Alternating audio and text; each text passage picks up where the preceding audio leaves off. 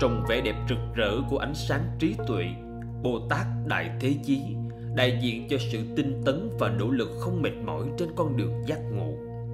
Bồ tát đại thế chí không chỉ là hình tượng của sự tinh tấn, mà còn là nguồn cảm hứng cho chúng ta trong việc kiên trì, dũng cảm đối mặt và vượt qua mọi thử thách trên con đường đạt đến giác ngộ. Những bài học từ bồ tát đại thế chí khích lệ chúng ta không ngừng nỗ lực, không chùn bước trước khó khăn luôn hướng tới sự giác ngộ và giải thoát. Mỗi hành động tinh tấn,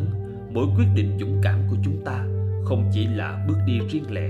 mà còn là sự lan tỏa của ánh sáng trí tuệ và lòng từ bi.